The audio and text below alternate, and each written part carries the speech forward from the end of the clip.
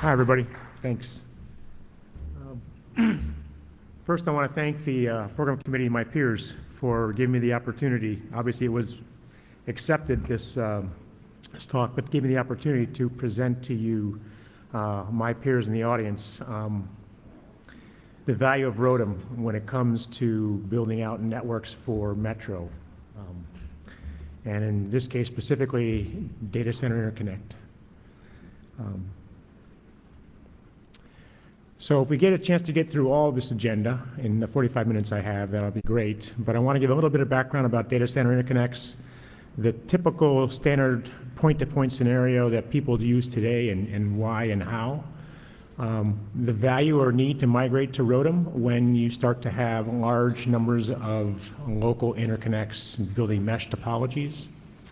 And then a comparison of uh, three ROADM architectures, uh, the trade-offs associated with those, and then talk about optical spectrum. Um, there's a lot of people in the audience that are concerned with maximizing the amount of bandwidth on a given pair of fibers. And so when you look at those types of things, the trends in modulation to go from 10 gig to 100 gig, 200 gig, 400 gig on an individual channel um, becomes very, very important. And then um, flexible grid filter systems help to make that a possibility. And if I have a chance, we'll get into comparison of restoration options between optical using GMPLS as well as layer 3 using MPLS.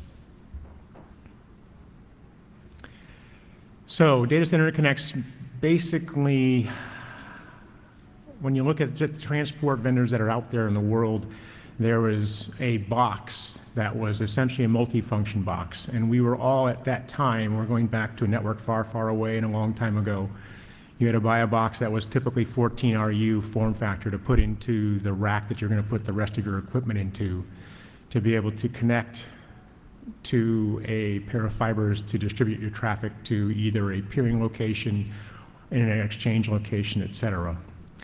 That large box basically was a fixed size. You could not vary that size at all or, or optimize it. So that took up that space. If it was full with all kinds of cards, it was very well utilized. If it only had a couple of cards in it, the rest of that space was basically wasted for you to use in that, in that rack, in that location.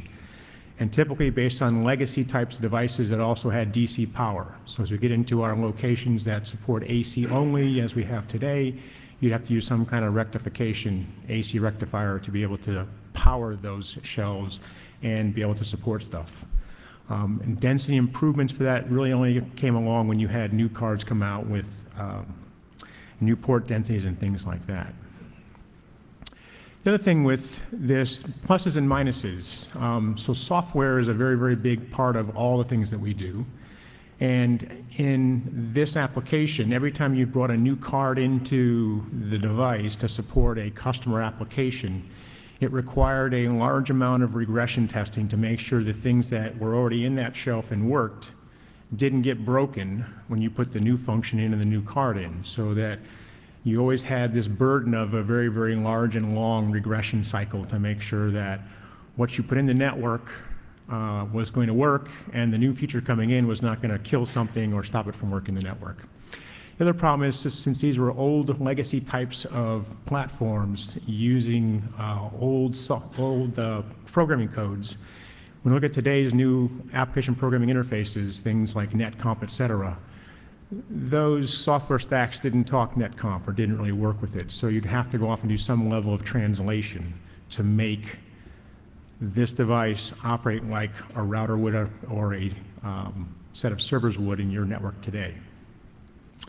And then again, the implement, implications of not being able to get fast turnaround time from vendors, having to wait for that regression testing, everything else. The technology might be available today, but it takes six months to be able to get it from the vendor because he has to do all that additional work to make it work in, in his box before it gets delivered to you to work in your network. That really drove the need to start looking at disaggregating some of these functions. And so rather than going and having this big multi-function platform, what people have started to look at doing is to split that functionality out. The very first box that that's happened and one that has most of the value from a user perspective is the transponding function or moving uh, traffic from the router onto the fiber to be able to have it transported between locations.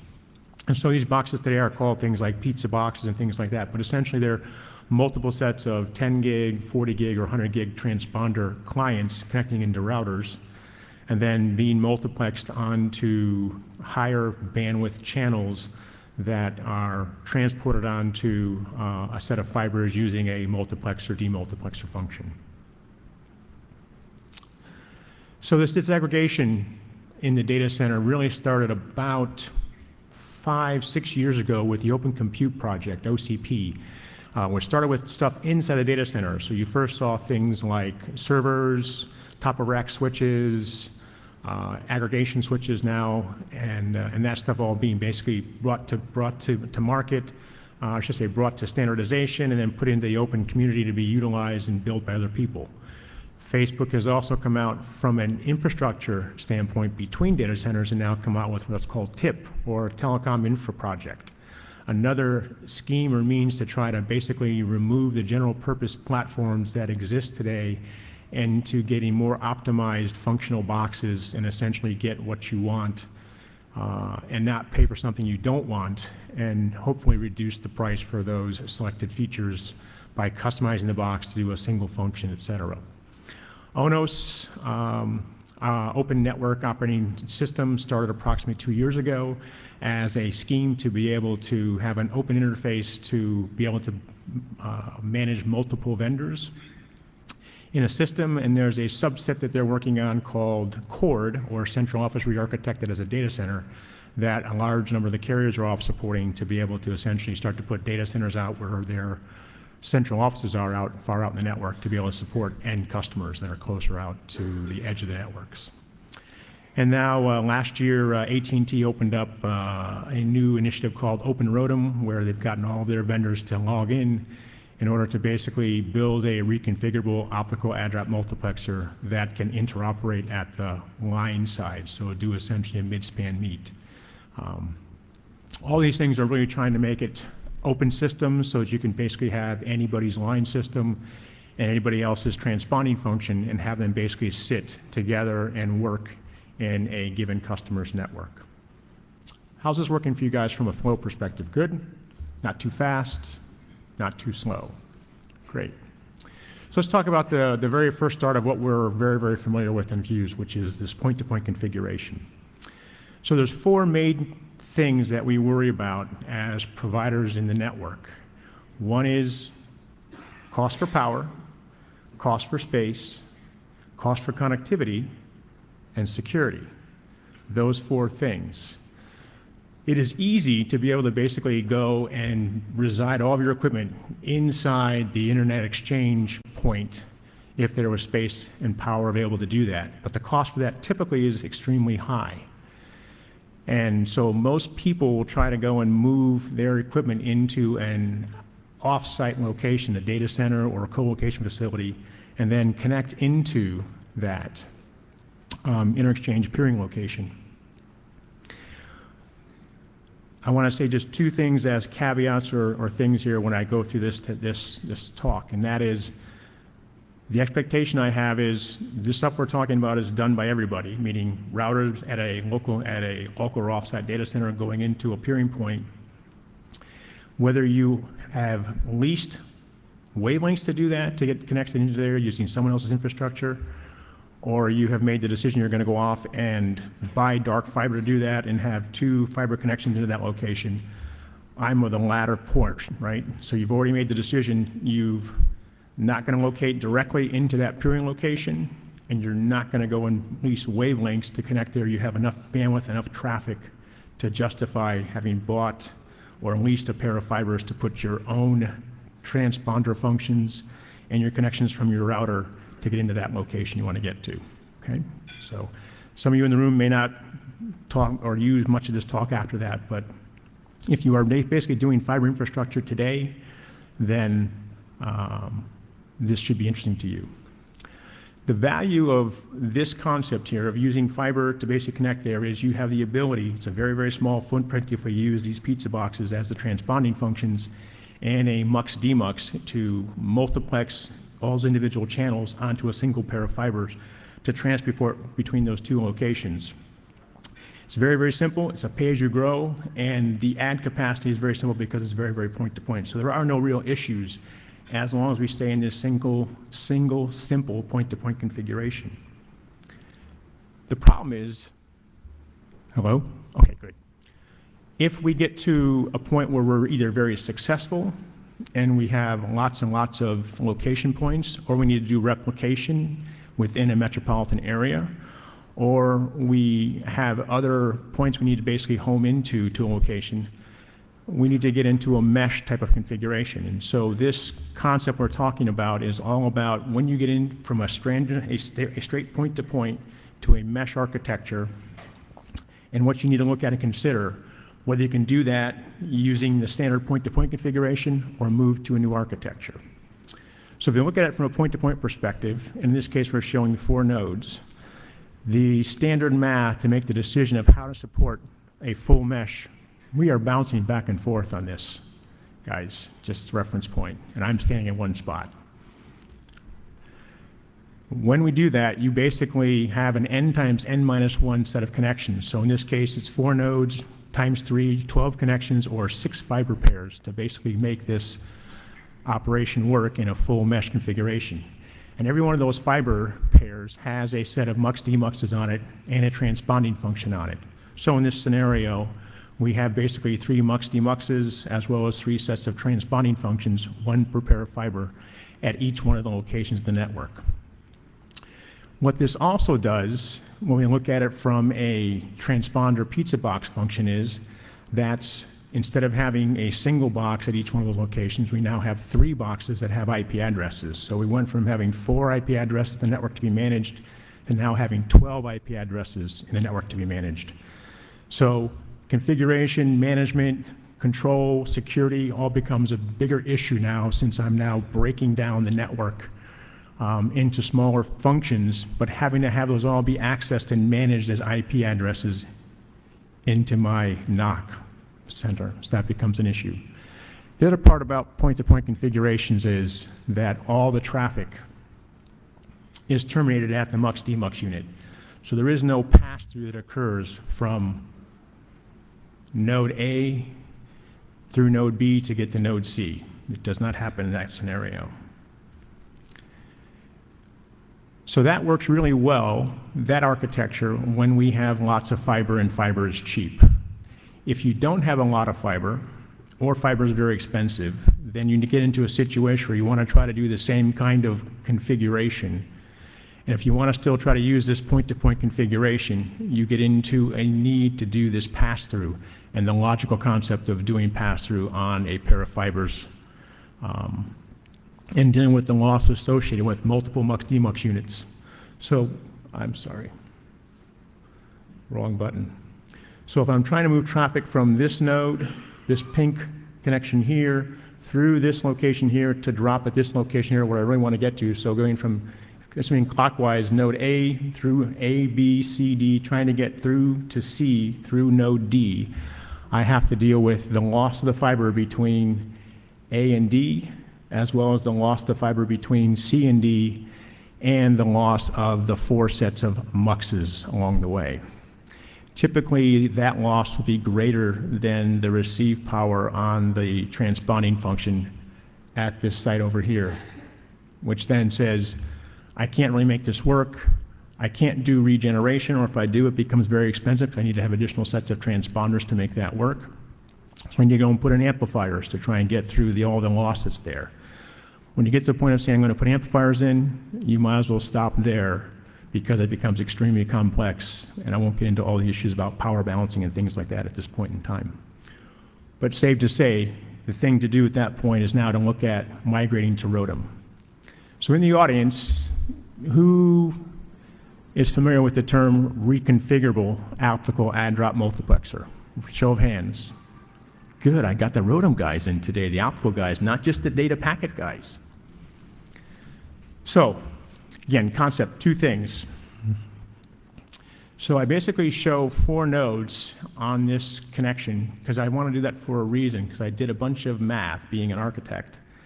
of looking at what it costs based on six pairs of fibers versus one pair of fibers, two ROADM cards versus three sets of MUX demuxes, and said, at four nodes in a mesh configuration, this is a break-even point. A lot of guys thought ROADM would be very, very expensive compared to doing multiple MUX demux units, but reality is ROADM is actually very inexpensive now because of how we've gone off and made the connection and built it and done the integration of taking all the functions that used to be separate in a ROADM and put them into a single card to make it very, very cost effective. So what's nice about ROADM, that you saw in the other slide that was difficult, is ROADMs are designed to support pass-through. There are five major blocks that work inside these integrated ROADM cards. You have your preamplifier, which actually takes the signals that comes in and amplifies it before it comes through the ROADM, goes through the MUX demux, and drops to the transponder.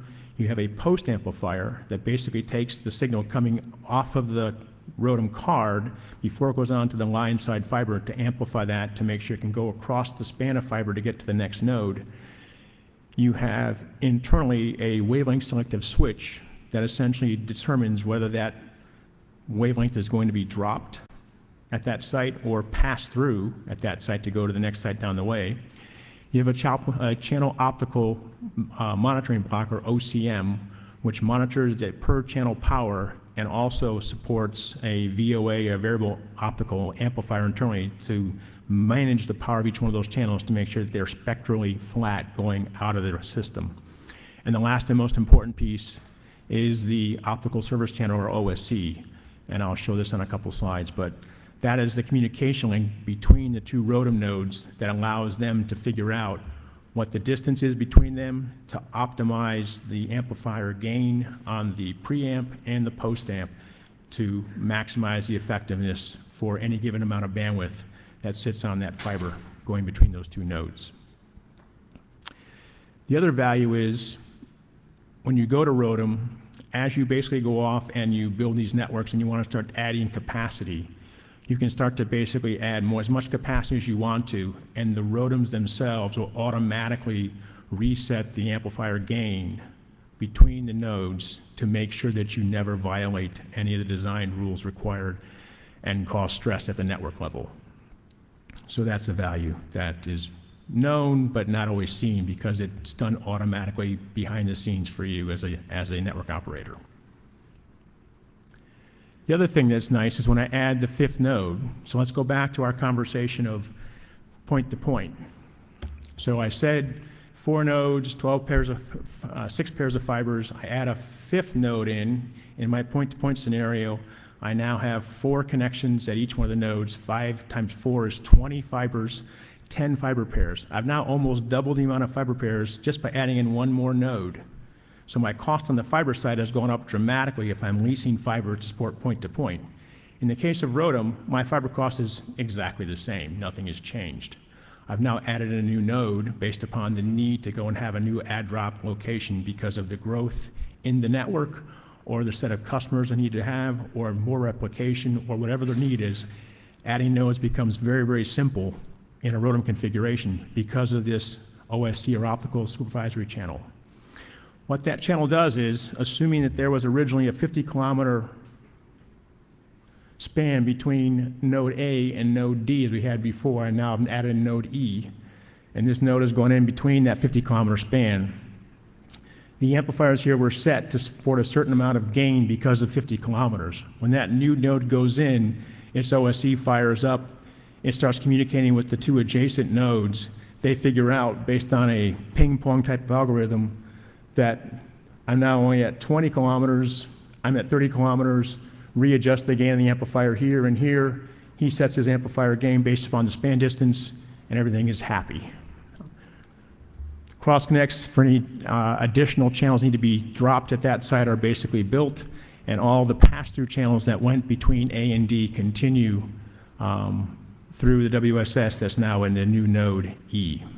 So again, node adds, additional pass-through traffic being brought up, new bandwidth being allocated in, all is easily done. The only issue is making sure you keep control of channel planning. And typically, these ROADM architectures and the management systems associated with them can tell you what channels are available or open on a given channel plan without having to worry about, I'm provisioning the wrong channel on this network because it's already in use someplace else by one of the nodes of the network. So they're very, very smart in making that happen. Benefits and architectures. So that kind of gives you the quick highlight on ROADM compared to um, doing point-to-point fixed configurations. Again, I mentioned the fact that at four nodes, it basically gets to the point of paying, paying for itself by putting ROADM in compared to the original point-to-point configuration. At five nodes, we're way ahead, and it makes a logical sense. Now, a lot of people have been told we have ROADM in our network. They don't know why. They don't know how. All they know that it's there. Um, and that's what the optics guys do. And I'm basically working on my router configurations, my policies for my different flows and my security, my MACsec, whatever for my security for all my flows. They don't really care, and that's what you want to have, is have the optical network be that transparent to what's going on at the packet level inside the network. And so ROADM basically does that. So from an engineering perspective, there is no pre-planning required for the most part. If you've got a 44-channel system, an 88-channel system, a 96-channel system, basically the system will tell you what channels are available and let you basically add channels as you want to. Um, there's a architecture which we'll talk about that also supports a term called FlexGrid and super channel, and we'll go over that in a little more detail. Um, the network level topology discovery basically allows you to know span distance, lost, optical backscatter reflectance, to know basically if you have an issue with uh, fiber or something else, and your adjacent neighbors to be able to do provisioning of wavelengths across the network. And again, we said nodes are added very simply, and the dynamic channel adds mean there's truck rolls only needed at the endpoints of the network. I don't have to go do anything at any intermediate nodes or at the core of the network. Everything is plug and play, no rebalancing required, and from an optics perspective, things are sweet. It also gives you the ability to have great levels of diagnostics at the network. So, so Routers don't really know what's going on at optical layer. They just know our packet's running, and am I having any errors or retransmissions being required because something's going on at the network? I don't know. ROADMs allow you to be able to see per channel what's happening, which translates back into what's happening on one or multiple sets of flows across that channel. So per channel, all channels aggregate signal, each service channel within that channel, assuming you have a bunch of 10 gigs that are multiplexed onto 100 gig wavelength and going across the ROADM network, and then any other composite levels across the, across the network. The only place you don't have visibility is within the ROADM block itself. So no reengineering, fewer truck rolls, and shorter and hopefully fewer maintenance windows as well with need just to go and add channels at the endpoints and not in the core of the network. So the first ROADM architecture I call the classic ROADM architecture because it essentially uses fixed filters to drop channels at the local, local location. And again, this is a two degree system as we show because it's a single pair of fibers being split with an east degree and a west degree. And the classic is a one by nine, and so all the channels will pass through unless those that need to be dropped, and if they need to be dropped, there'll be a cross connect built to drop that individual wavelength out. It'll go out the output port of the drop port of the MUX, uh, I should say of the ROADM, and hit the MUX DMUX and then hit a optical transponding function beneath it. Um, so typically these are colored, they're directional, and they're also fixed, meaning each port is specific to a certain wavelength. And I have to make sure that my optical transponder that's connected to that port is that wavelength, or else it won't be transmitted across into the ROADM. It'll be blocked. Second architecture is a little bit of a deviation off of that, and it's basically called a CD ROADM, C being colorless and D being directionless. So typically when you go from being a two degree system to a four or larger degree system, what happens is you want to be able to have the ability to drop any channel from any one of those degrees at that site. And so this directionless card allows that ability because it has uh, WSS in it and also a wavelength routing function inside there. So it supports the ability to basically drop any colored wavelength from any degree at that site to that location. The one constraint is it still has an issue if that color is already being used on that drop block. You can't drop a second one of the same exact channel at that site. And that's where the next option comes into play, which is called CDC, and a, a, a version called F for FlexGrid.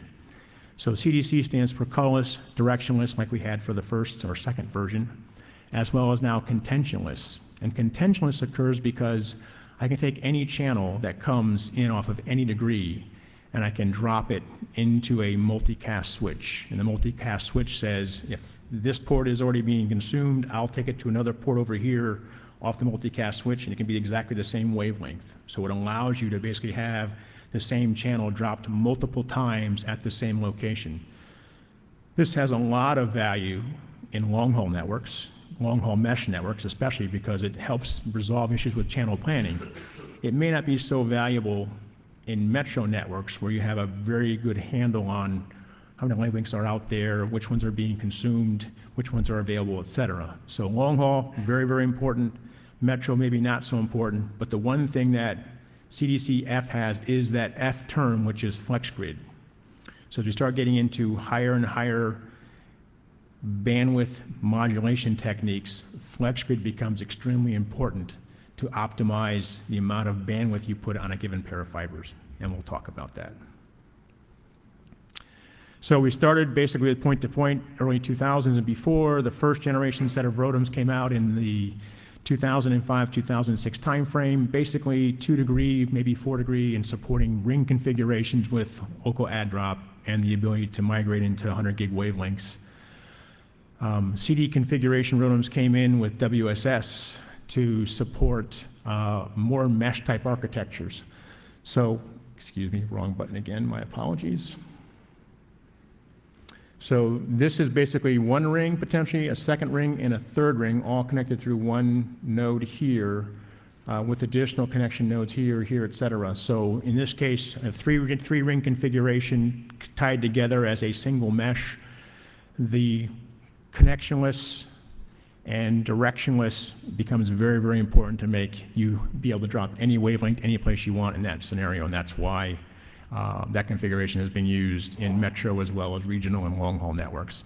And now we're basically moving into these dynamic optical networks using FlexGrid ROADM to support higher modulation techniques to do 100 gig, 200 gig, 400 gig wavelengths with those same 10, 100 uh, clients beneath them and the ability to now add in support for SDN control, orchestration, hierarchical managers, and optical layer restoration and optimization using GMPLS.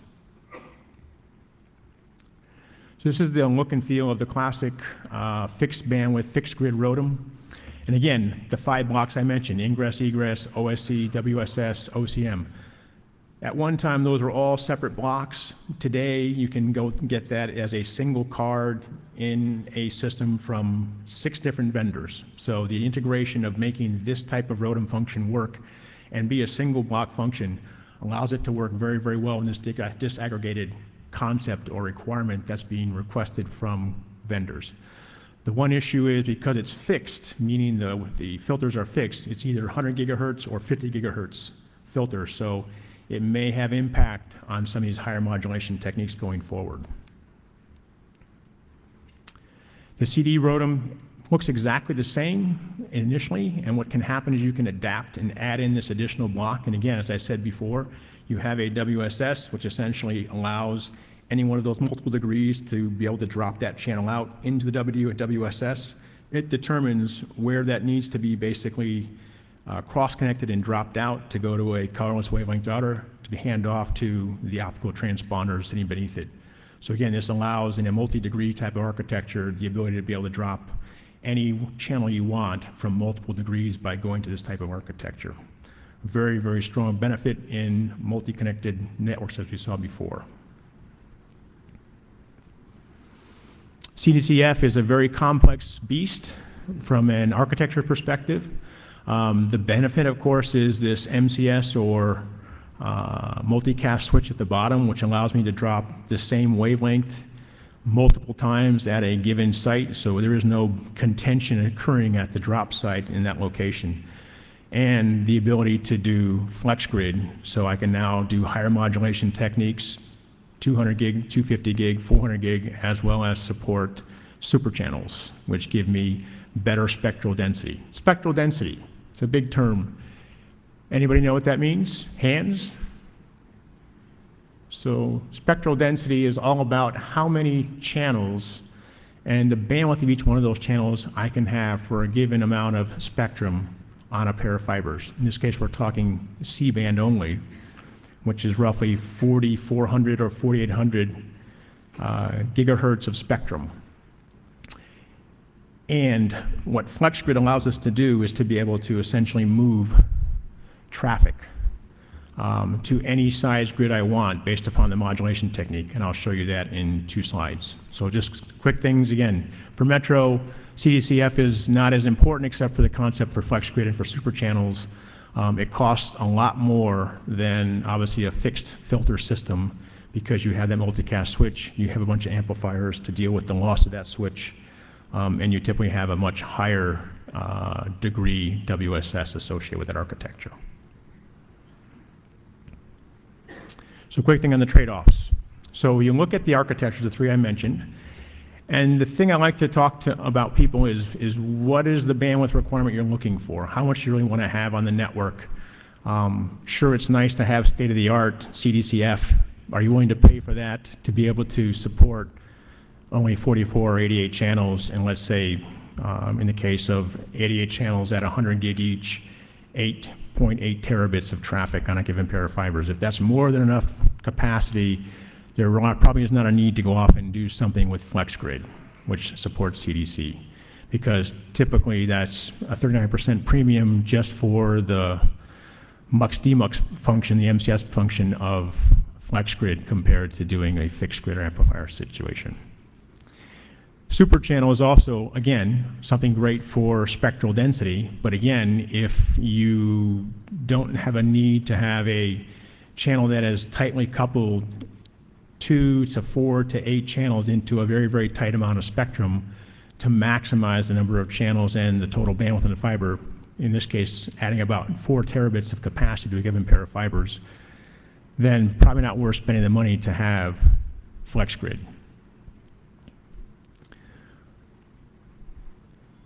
If you look at what people have put in today, so I have a legacy network, but they want to still maximize the amount of spectrum capacity in that network. The things they can do, things that are very effective, is add in the new modulation techniques. So they have a ROADM system that's three to five years old. It's a fixed grid system. It supports 50 gigahertz.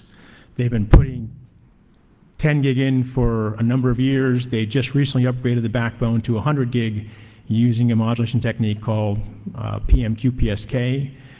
They can now move to uh, a technique called 8 QAM or 16 QAM in the metro space, and potentially 64 QAM to go from 100 gig to 200 or 250 gig or 400 gig for a given channel with that same spectrum.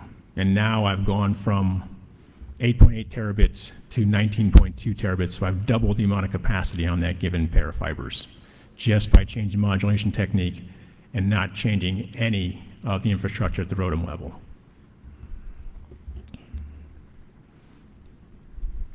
So this is what FlexGrid looks like compared to fixed filter. So the top is basically showing a fixed filter architecture using 50 gigahertz or 100 gigahertz space filters. And so what I'm showing on the right-hand side are the different modulation techniques that are available. So the one that people have been using for now about four years is this thing called 100 gig coherent QPSK or quadrature phase shift key. It basically fits within a 50 gigahertz window, so it fits very, very nicely into a 100 gigahertz or 50 gigahertz grid fixed filter system.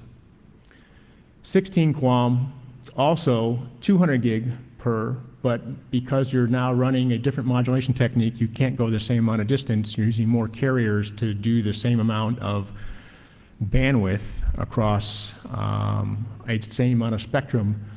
You can now double that capacity. Again, my apologies, wrong button. Wow, I went way back.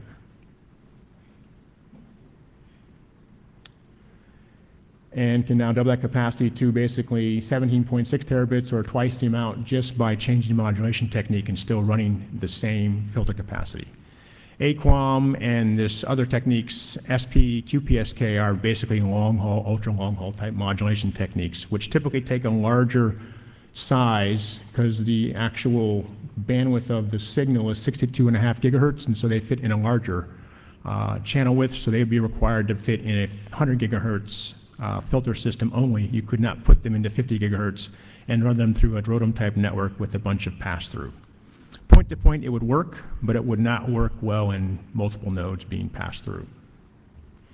And then down below, by going to FlexGrid, what happens is you're taking yourself off of the ITU 50 gigahertz grid completely and looking at everything at 12 and a half gigahertz slices, if you will, and now optimizing based upon each modulation technique the size of the filter for that bandwidth of that modulation technique so I can very tightly couple all these channels together to optimize and grow the amount of capacity on that pair of fibers just by going to FlexGrid. Again, you're paying money for this, but if spectrum is important, you can go and put 64 QAM in and put 30 terabits of traffic on a given pair of fibers.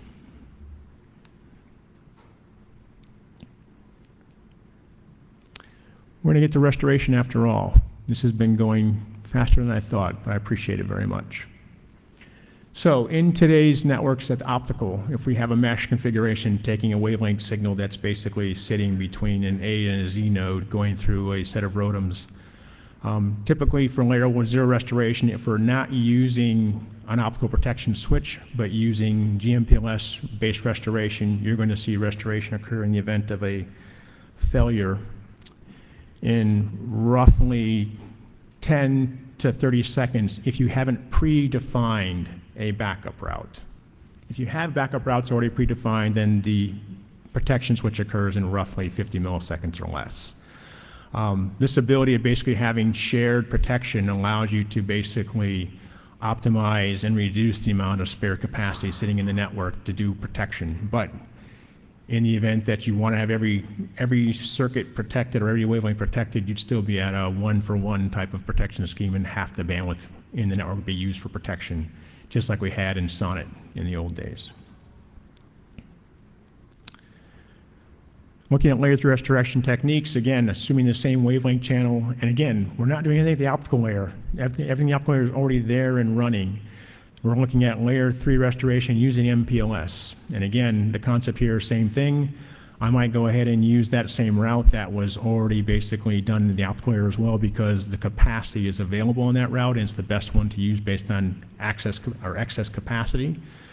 But you might also go ahead and redefine things and have a predefined route going through this way and have traffic going there and have it restored in 50 milliseconds. So uh, restoration obviously does not work as fast as layer 0 restoration, but it can be more effective because you're looking at things at the flow level as opposed to looking at things at the wavelength level for certain flows and things like that and prioritizing those types of things. So quick summary conclusions. So looking at the fixed ROADM as disaggregated solution and comparing it as doing a shelf function or a per function architecture. So when I say shelf, we're still doing optimize. So I'm still looking at saying in the case of ROADM, I've got a single ROADM card that does a degree function in there. So um, if I'm looking at something that's two degrees, four degrees, six degrees, having all those ROADM cards sitting in a single shelf with a single set of controllers to manage all of those ROADM cards, I'm actually better off from a physical perspective than trying to go and have each of those ROADMs be an individual box and then having to figure out how to manage each one of those separate four to eight boxes and then have them also communicate, assuming there's a communications channel between them, to have them know they're connected to each other to be able to support that functionality. So in the case of the shelf-based architecture for high-density integrated ROADM compared to single function ROADM cards, uh, white box if you will, with multiple IP addresses, you're probably better off for minimize of space, power, as well as minimize of IP uh, man management requirements to go and stay with a shelf-based architecture that is ROADM-centric. From a software perspective, you still have an advantage, but it's a slight advantage in the function-based thing because you don't have all the regression required in, in the case of a, a large multi-card shelf architecture. So you still have that, but since we're only talking about a single type of function, meaning in this case a ROADM, the amount of regression testing is greatly reduced. And so the advantage that you would have having a function-centric architecture versus a shelved architecture for dedicated ROADM actually still shows a little bit of value add of going to single shelf multi-card than multi-shelf single function per card and all the IP addresses associated with that. Again, assuming new, new architectures, the APIs are there now to go and support the new generation of cards to go and match what we're doing in the data center. And then from a speed perspective, I think you still have advantage with regard to function-centric architectures that you can support uh, faster bringing out a new card, new function without having to worry about a controller that manages more than just a single card, single function in the case of a shelf-based architecture. So, quick things. So, from a DCI perspective, disaggregation of transponder has already been proven as being the most valuable thing to do from a CSP, ICP, CNP colo, colo provider. If you get into mesh architectures, ROADM simplifies the adds and changes the network, makes things very, very simple, easy to scale from a bandwidth perspective as well as dynamically add channels without having to go and change anything in the network. Just add the channels at the endpoints and then move forward, plug and play. Um, supports and actually uh, makes valuable the ability to basically go off and build larger and larger mesh scenarios. So you start with four, you go to six, you go to 10. ROADM continues to grow and expand easily, simply. The only issue you have to worry about is channel plan. And again, the systems are sophisticated enough that they tell you when a channel is already active in the network if you can't get it between A and Z across the, across the design.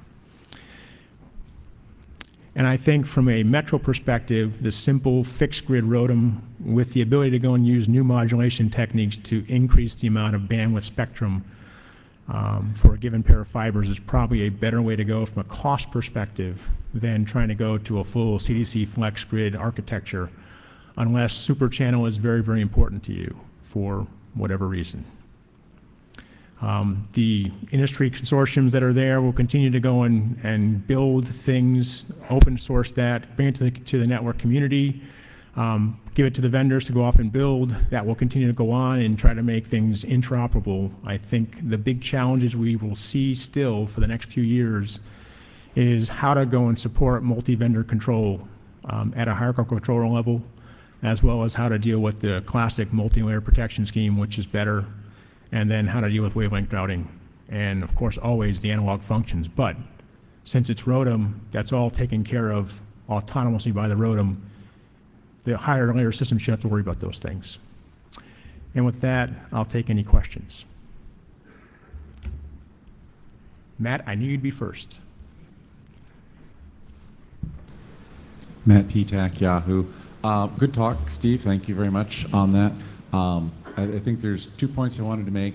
Um, one, which is there are definite trade-offs in terms of the uh, dB losses as you get to fancier and fancier systems, uh, when you start getting into the, the CDC, FlexGrid style uh, yep. MUX, DMUX. If you're worried about uh, distances on your, your optical system, do recognize that it's not just a, ah, I can pull out my very simple uh, fixed filter from years ago, throw in a, a FlexGrid CDCF ROADM system, and I'll get the same distance out of it you generally will have increased losses that you have to account for. So your, your distances, you may not get quite as far as you thought you would with the your systems. Agreed. And again, I think that the key thing here is there are always trade-offs. So in my opinion, and, and very good point, Matt, and I, I applaud you for that, is you look at everything. What's the cost for fiber? Again, point-to-point -point is the simplest thing to do, probably the most effective thing to do when it makes sense. But if fiber is not readily available or it's very expensive, then hardware can take the place of fiber multiplication, right? And that's the whole value behind dense wave division multiplexing. By doing virtual fiber over the ones that of fibers you've got and adding hardware. What we're seeing, what we have seen now over the past year is that the technology that allows you to basically make that decision easier, i.e. going to hardware implementations, ROADM, et cetera, versus staying, with fixed, fixed filter and, um, and point-to-point multi-fiber, is the cost has gone down dramatically, 60%. I mean, I've, been amazed at how much we've dropped the price on ROADM from a hardware perspective across the industry to make this work for our networks and our industry here for data center. A second point being, if your layer three restoration is really taking 500 seconds, I, I think you need a, a different layer three router vendor because that's I agree. I agree. And again, the concept what I said there was you didn't run MPLS, you were basically trying to rediscover a, a path at that point in time in that scenario, right? If you'd already had predefined routes, it wouldn't be, able to- you'd, you'd be 50 milliseconds or less. Even if you're, you're just running ISIS, uh, 500 mil, uh, 500 seconds, you said that wasn't milliseconds, that was Yeah, seconds? 100 to 500 seconds. That's seven minutes, eight minutes, I suck at math. It's a long time. That's, that, that shouldn't be an acceptable answer from any router vendor. I would agree with you. All right.